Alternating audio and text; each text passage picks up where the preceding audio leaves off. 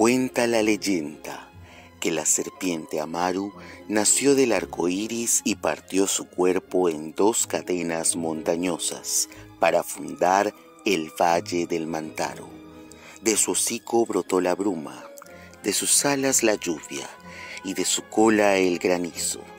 De sus escamas esparcidas se fundaron las realidades y los sueños. Cuentan también que mujeres y hombres habitaron el valle y en señal de gratitud buscaron perpetuar sus anhelos y tradiciones en tejidos, mates burilados y recipientes mágicos llamados libros. Entra en la leyenda, entra en la feliz.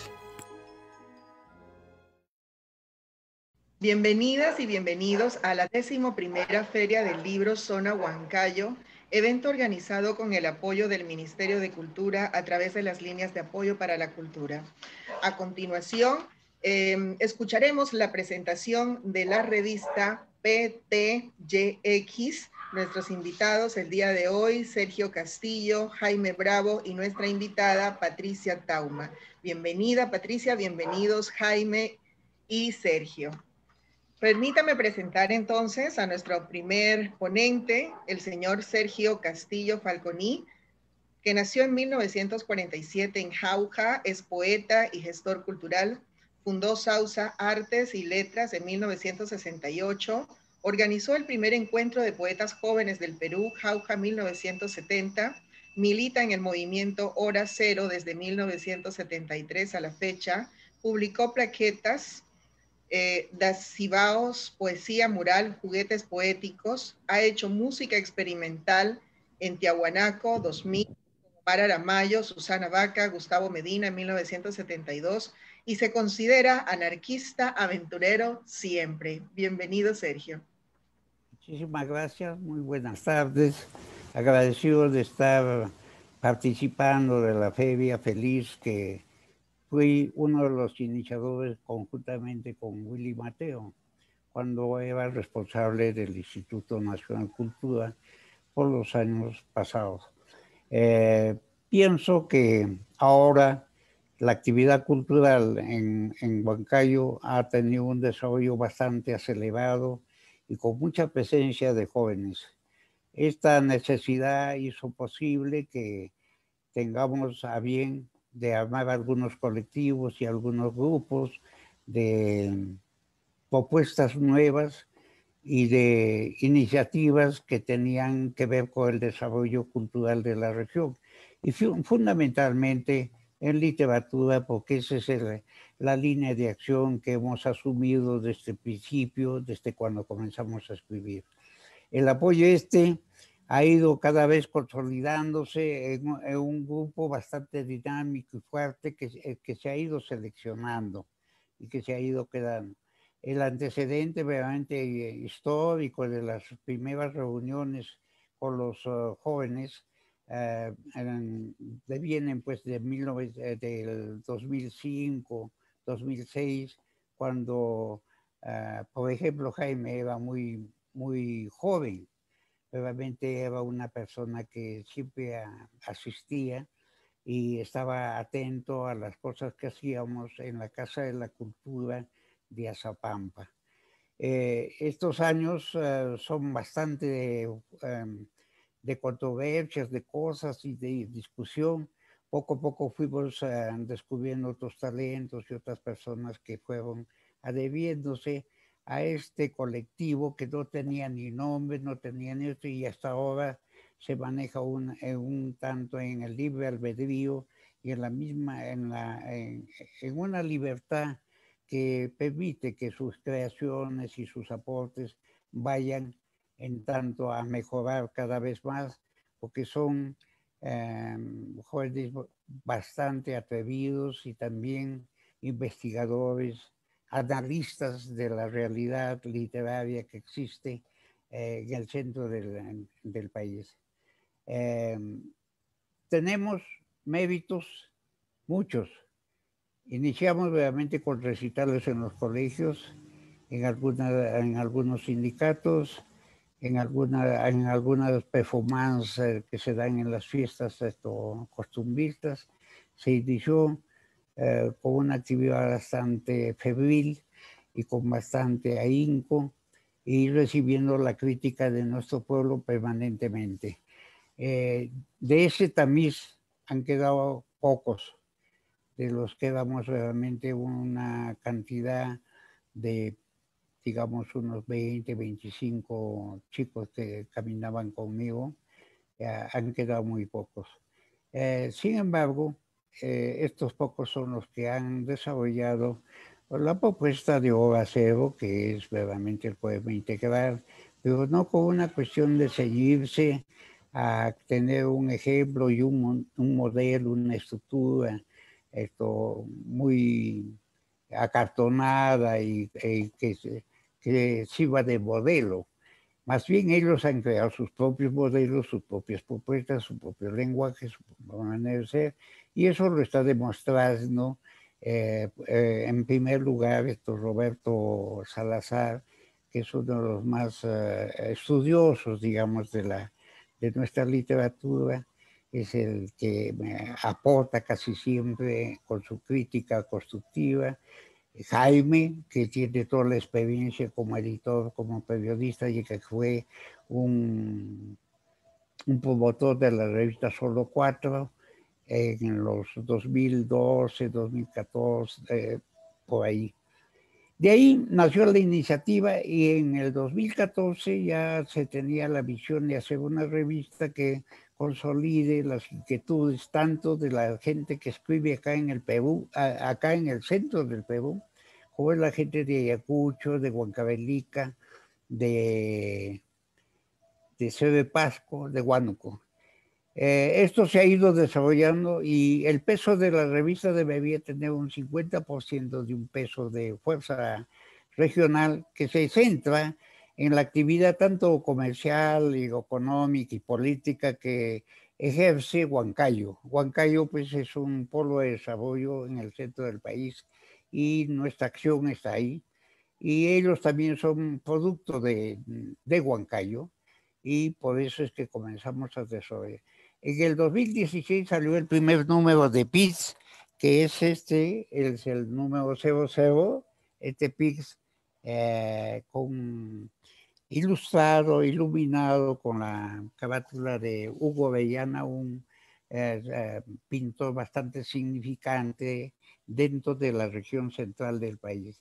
El formato era muy sencillo y tuvimos el apoyo de la imprenta Com, que, cuyo líder y cuyo, cuya persona que llevaba a cabo es, es Nicolás Matayoshi, reconocido también intelectual de nuestra zona, y que apoyó económicamente, solventando la edición de 150 ejemplares en forma física para poder regalar a los que lo necesitaban cuando nosotros dábamos los recitales y hacíamos una promoción de lo que eh, estábamos pues, eh, haciendo. Eh, yo he llegado realmente a tener una, una, una dirección un poquito más directa hasta este número último que lo propusimos en el número 5, el número 6 salió bastante también movido y el número 7. La organización realmente para la producción de los textos y la selección de textos va pues por un tamiz como le digo, que ha quedado solamente a manos de quienes fundamos la revista, que somos Roberto Salazar Sedano, Jaime Gaspar, ¿no? Jaime eh, Bravo Gaspar y mi persona. Después de eso se ha ido ampliando, tenemos la presencia de Patricia Tauma, de Joel Delgado, de Carlos Culcamayán, y otros amigos que siempre han estado atrás, tras realmente de las iniciativas, inclusive también han publicado su poesía, han, comenzado a colaborar con la revista y eh, los que han alimentado en la selección de los textos de colaboración y de correspondencia con los diferentes literatos latinoamericanos eh, ha sido Jaime. ¿No? Él aperturó obviamente el, correo y esta revista tiene la peculiaridad que desde su inicio ha sido una, una revista virtual, está aperturada hacia el mundo. Al comienzo hemos tenido mucha, muy poquísima realmente atracción porque no manejábamos los medios y lo, lo, lo, lo efectivo que es ahora las redes. Eh, ahora tenemos la satisfacción de que tenemos pues por lo menos mínimo unas 200, 300 entradas cada vez que esto existe, eh, la propuesta de la revista. La revista ha mejorado muchísimo, tanto en calidad como también en la forma y en la presentación. Y esto lo, eh, se debe al equipo conformado por Jaime, por Roberto y, ahora con el apoyo con, de Patricia, es por eso nuestro interés de presentarlo en la feria, de ir promoviendo, de ir incentivando la creativa literaria dentro de la región central del país. Esto es lo, es lo que tendría que decir y mis compañeros acopiarán dar un granito más de arena para ver las partes de ver más, más sensibles sobre la cuestión de la investigación biobibliográfica de los eh, autores propios de la región, porque hemos reivindicado, hemos rescatado la presencia de muchos poetas que no eran, pues, em, ya no se hablaba de ellos. Entonces, Ahora los hemos puesto en vigencia, ha habido discusiones, mesas redondas, etcétera, etcétera, que se generan siempre. Es el caso, por ejemplo, de Argemiro Pérez Contreras, que es uno de los poetas que se están rescatando en esta clase de ferias y en esta clase de eventos culturales. Eh, que llevamos también que se rescate a muchos más, que son muy buenos poetas y gente intelectual del centro que ha producido mucho. Aquí hay mucho que hacer y recién estamos realmente con los primeros pasos y creo que nuestro camino va a consolidarse cuando tengamos la satisfacción de tener estudios tanto más estrictos sobre la creativa literaria de la región Junín. Muchísimas gracias. Muchísimas gracias al señor Sergio Castillo, porque además, aparte de estar presentando esta revista, quien le agradecemos, es una persona aliada de la cultura, eh, aliada de la Feria del Libro y con quien contamos permanentemente para las actividades y sus recomendaciones. Muchísimas gracias, Sergio, y que continúen también los éxitos para la revista y para toda tu gestión cultural, que sé que la haces así en silencio, pero tu ayuda, tu aporte es muy importante. Muchas gracias.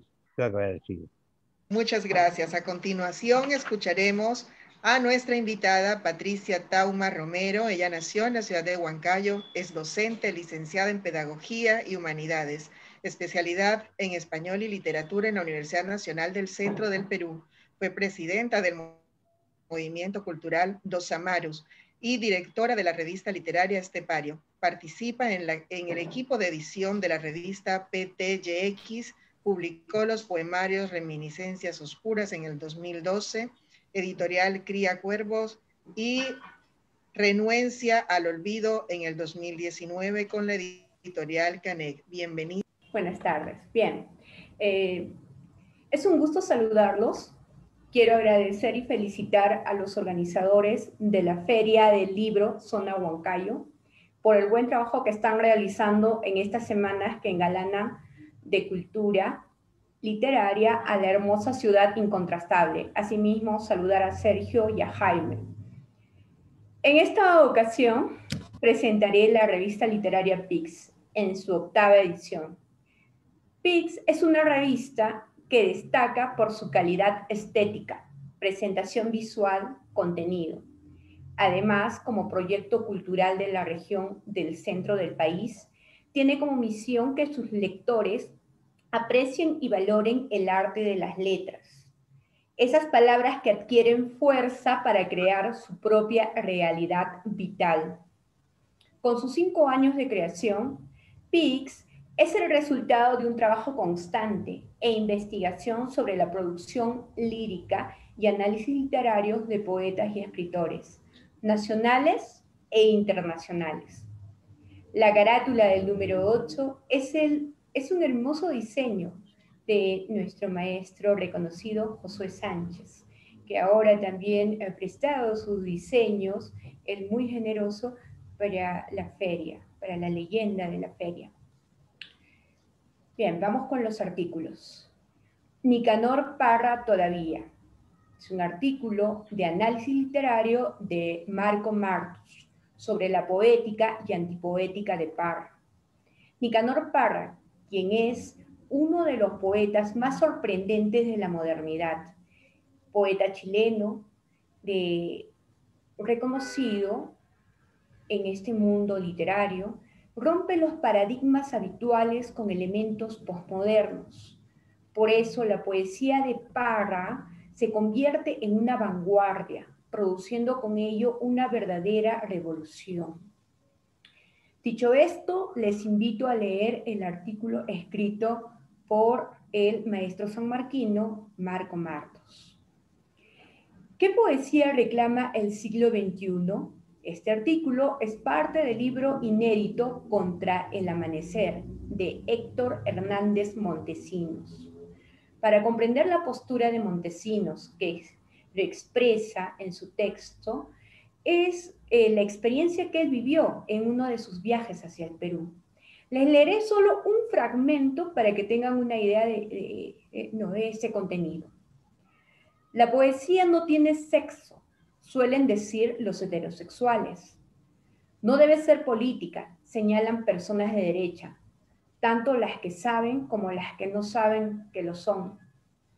Tiene que cuidarse de su instrumentalización, agregan algunos, que trabajan 60 horas semanales para el capitalismo. Desde ciertos lugares de ignorancia o hipocresía, el amor a la poesía les baja, por ejemplo, cuando una mujer dice vagina en un poema. La minimizan como poesía del cuerpo, como si los poemas de hombres sobre el cuerpo de las mujeres no fuera también poesía del cuerpo. Ciertos sujetos no pueden ejercer soberanía lingüística sobre sí mismos pareciera ser el mandato de su destino. Bien, ¿qué les pareció? Continúo. Ah, bien, tienen que leer la revista. Ahí van a poder encontrar el artículo completo de Montesinos para poder, eh, él expresa, ¿no? Eh, qué tan machista puede ser a veces la poesía. Y también escribe sobre algunas poetas de Perú. Pero les voy a dejar con esa incertidumbre para que ustedes busquen PIX, eh, la edición 8 y completen este artículo, la lectura de este artículo. Seguimos. Vallejo, La vida bárbara, de Sergio Castillo. Es un artículo que se analiza la obra del prolífico escritor Jorge Nájar. ¿Quién es Jorge Nájar? ¿Escucharon sobre Jorge Nájar? Es un escritor peruano que nació en Pucallpa. Ha estudiado en la Universidad Nacional Federico Villarreal y en el Instituto de Altos Estudios de América Latina de París. Publicó sus primeros poemas en la revista Hora Cero en 1984. Recibió el primer premio de la Segunda Bienal de Poesía Peruana, Premio Copé en Lima. El 2001, el Premio Juan Rulfo de Poesía, con su poemario Canto Ciego y eh, la UNESCO ha publicado su antología completa. Él vive en París desde 1976.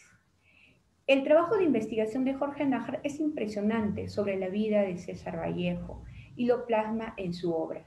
Según las palabras de Sergio Castillo, Nájar nos muestra a un poeta como es, viviendo y persistiendo en su ideal, Hemos llegado al comienzo y diremos, aliterando términos como Vallejo, creces más siempre. Este libro te muestra cómo eres, cotidiano y corriente, humano, un bollo para llantar juntos, grano a grano, ponderando su labor de pan serrano. Interesante artículo del maestro Sergio. No hay gramática del poema, es una entrevista de Santiago Lima a Mario Montalbetti, que es lingüista y discípulo de Noam Chomsky.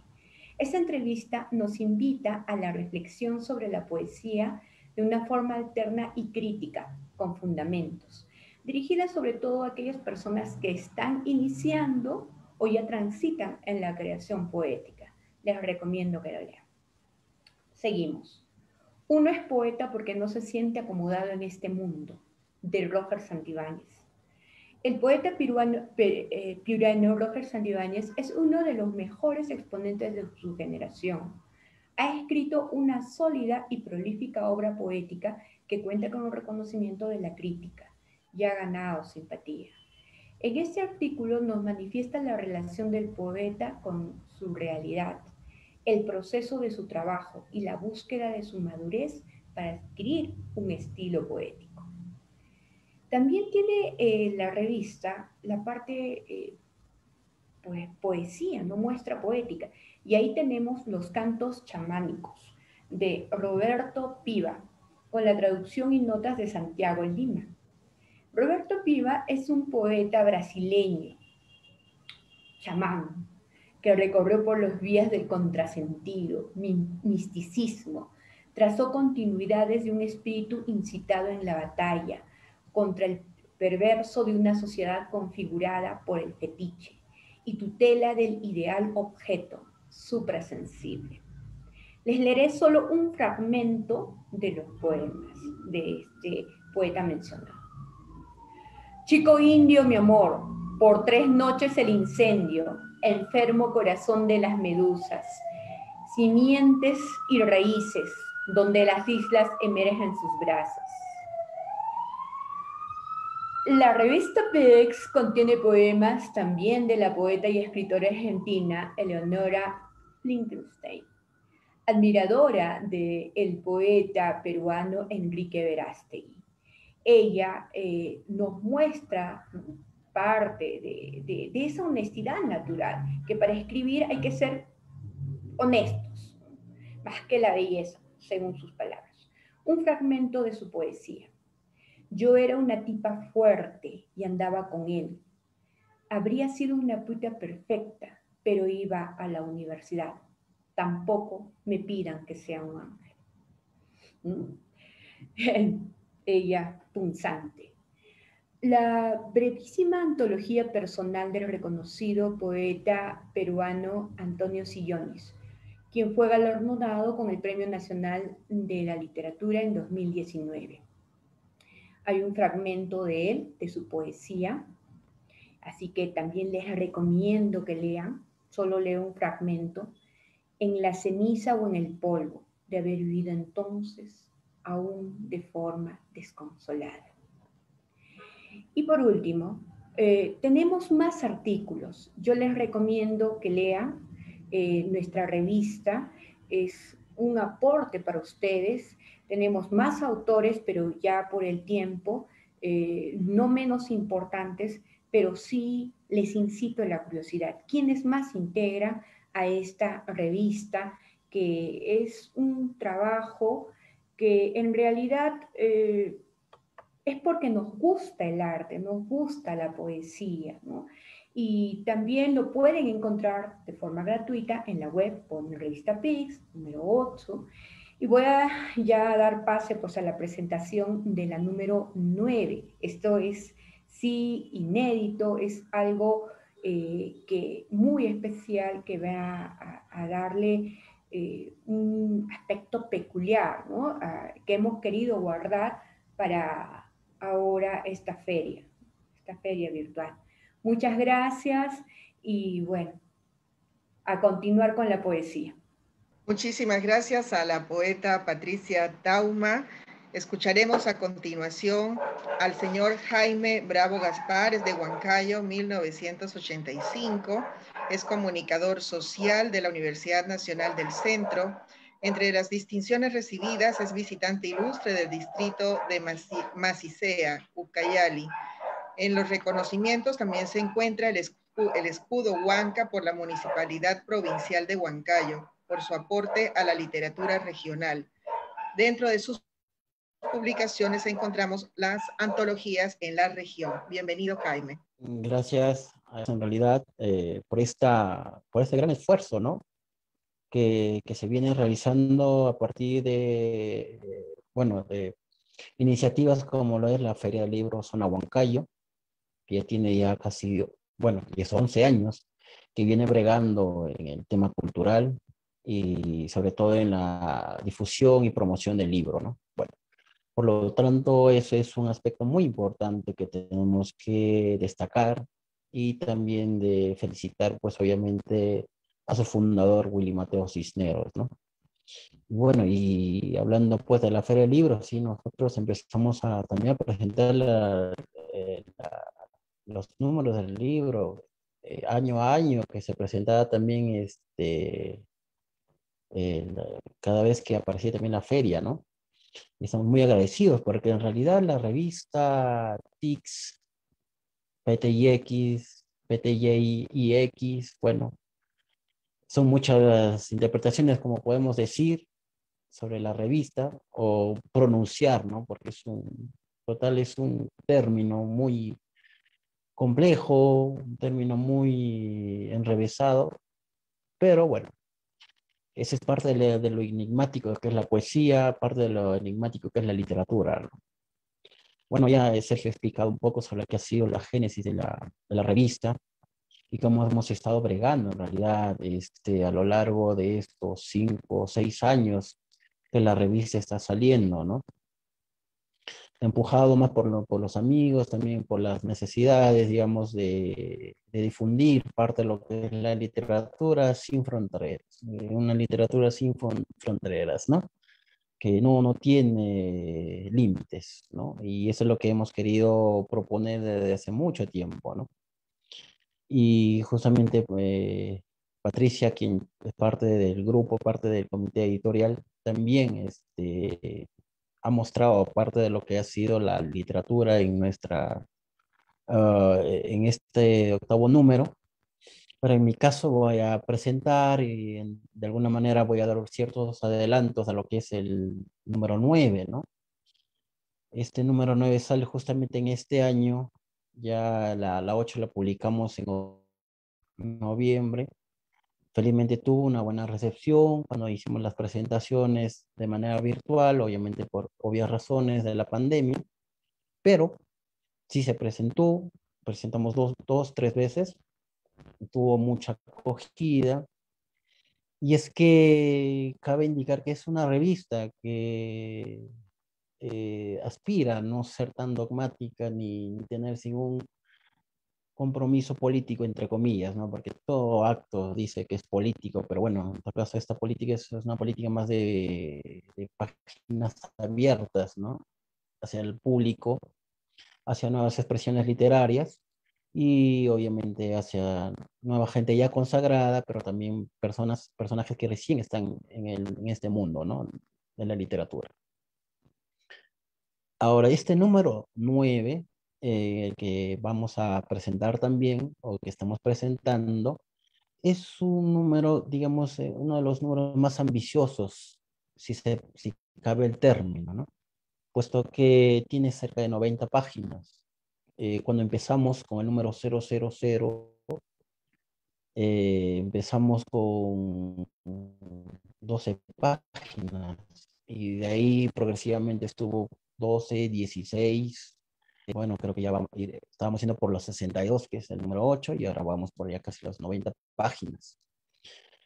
Y es que es esta necesidad también justamente de mostrar todo este abanico de propuestas que se han mostrado, este abanico de propuestas que, que nos da a conocer pues la literatura peruana, este, la literatura latinoamericana, porque cabe indicar que la, este, la revista TIX, eh, queramos o no, queramos sin intención o no, se ha vuelto una, revista de corte latinoamericano por los eh, importantes escritores que nos han colaborado gentilmente eh, incluso eh, que ha sobrepasado nuestros propios límites lingüísticos, porque también este, publicamos escritores de Francia y también publicamos escritores de Brasil.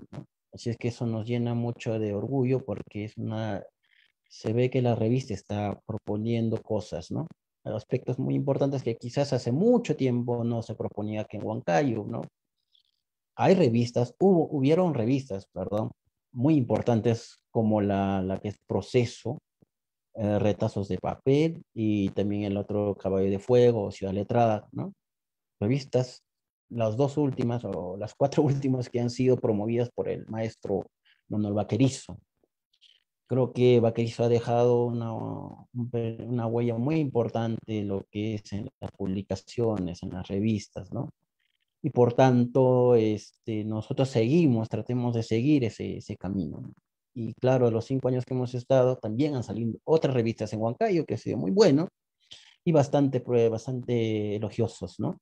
Ha salido revistas de grupos, y ahora último me parece que ha salido también una revista, que me parece muy bien, ¿no? Huancayo necesita eso, necesita publicaciones sobre todo necesita difundir su literatura o también ser parte de una suerte de, eh, de, polo desarrollador de literaturas, ¿no? Y que ahí confluyen otras literaturas. Como lo que estamos haciendo. Y justamente en la número 9 eh, para no perder, pues obviamente todo el contenido, para decir el contenido. En el 9 abrimos con un artículo, eh, bueno, de mi persona, sobre el poeta, el gran poeta eh, Paul Celan, que es un poeta rumano, pero que siempre en toda su vida ah, ha escrito en alemán una lengua que para él era la lengua de los muertos, ¿no? porque es una lengua que desafortunadamente utilizaban, se utilizaba en los, campos de concentración nazi y que fue una lengua donde justamente era lo, peor para él porque mataron a sus padres, mataron a sus hermanos y tuvo que escribir bajo esa, esa, esa luz ¿no? o esa sombra del lenguaje alemán, ¿no? Tuvo que crear sus propios neologismos, y, hoy por hoy es, es, el poeta más importante o uno de los poetas más importantes. Lamentablemente falleció en los 70, pero aún es el poeta más traducido y estudiado, ¿no? Y bueno, ese es parte un poco del aporte de mi persona por el centenario, justamente, pues Celan, este, el 2000, el, el año anterior cumplió justamente su centenario de el centenario de su nacimiento y 50 años de, su muerte, ¿no? Y bueno, aparte de eso, también hay un artículo de Paolo de Lima. Eh, Paolo de Lima es un poeta de los 90, pero que está haciendo mucho trabajo teórico y es uno de los especialistas, cabe indicar, en lo que es la literatura de la violencia. Él nos ha enviado un artículo exclusivamente para la revista sobre lo que es la literatura y la violencia, pero vas un poco eh, empezando un poco, escalar un poco por las raíces de, la, de lo que es Javier Heró, ¿no? Es un poeta guerrillero que empezó por todas las gestas este, bueno, de guerrilleras aquí en nuestro país. Y es un buen artículo. Eh, bueno. Y también está la de Julio Noriega Bernuy, eh, Julio Noriega también, que es un gran amigo y también un gran colaborador de la revista. Él también nos ha enviado un artículo muy bueno que es sobre la literatura quechua o la poesía quechua, ¿no? Aquí en el Perú.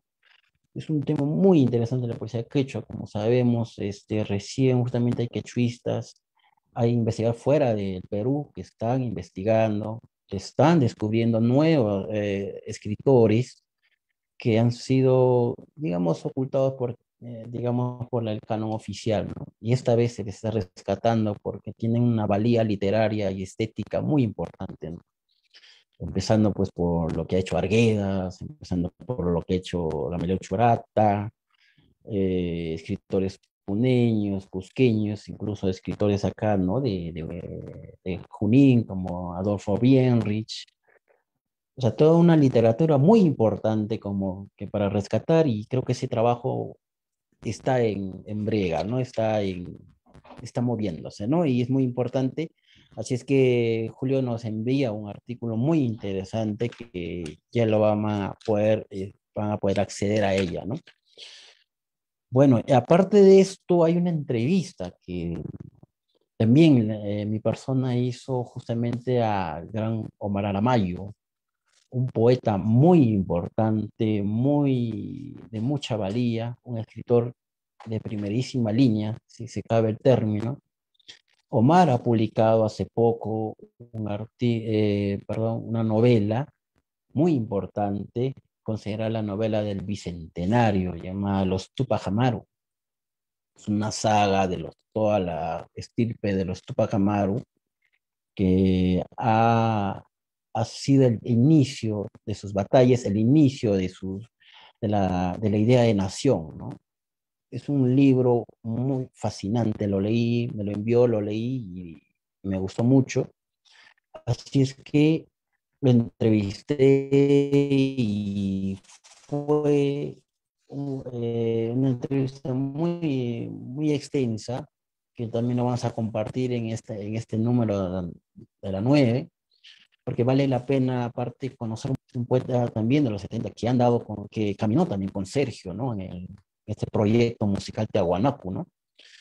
Caminó con Sergio y bueno, y obviamente hay mucho, hay, mucho que le he preguntado y él me ha respondido así de la manera como es el confrontacional, pero muy, eh, muy letrado, muy culto, ¿no?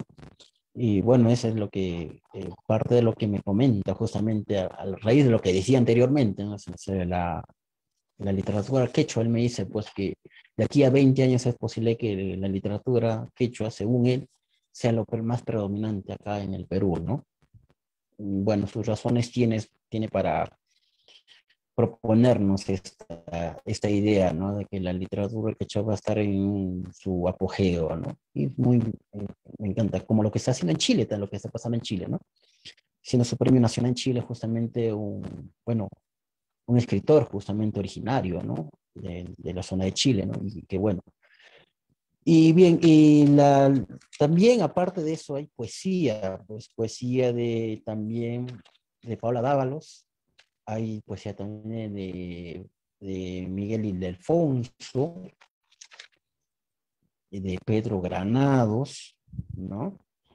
Y de Rosana Crisólogo, también hay poesía.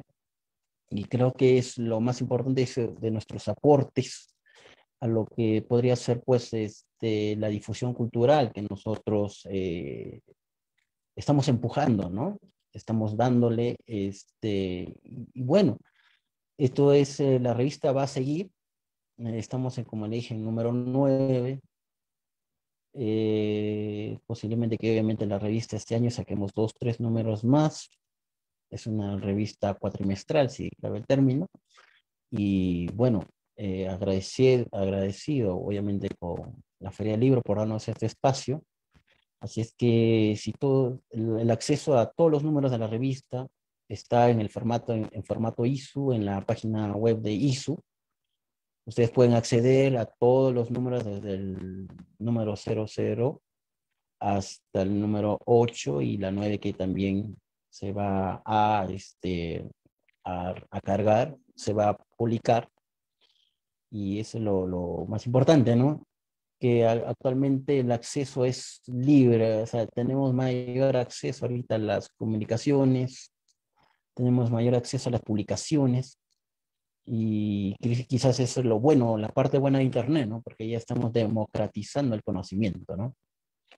Y creo que estamos, estamos encima ya en la corriente y tenemos que seguir con ese trabajo que ya hace, como les dije, hace cinco años hemos estado trabajando y bueno, agradecer también, pues obviamente a todos los amigos, que es parte del comité elector, eh, perdón, comité editorial, como Sergio, Sergio Castillo, Patricia Tauma, eh, también este Roberto Salazar, Santiago Lima, también está Artemio Julca, y también, este, también está parte del grupo, también yo, Delgado Rodríguez, eh, Ariel Marsal también, es que es, un grupo grande que está trabajando eh, sin la menor este, pizca de envidia quizá, sino solamente con, con, ese derrotero de seguir difundiendo literatura.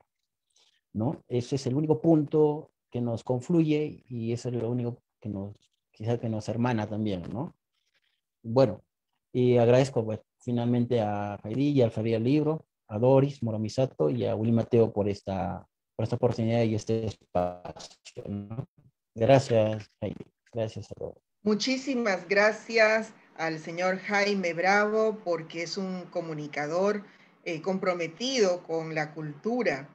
Y creo que de esto, de este tipo de personas que trabajan en el periodismo cultural se necesita muchísimo más. Eh, son súper importantes para la difusión tanto de escritores como de escritoras y de los artistas de la región y del país. Muchísimas gracias a Sergio Castillo, a Patricia Tauma, a Jaime Bravo por la presentación del número 8 y 9 de la revista PTYX. Recuerden que toda la información la pueden encontrar en la página eh, web www.feriadelibro.com.pe y seguir toda la programación a través de nuestras redes sociales. Muchísimas gracias.